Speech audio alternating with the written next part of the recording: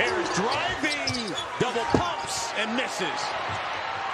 Punched out by Huchefino. Jackson Davis.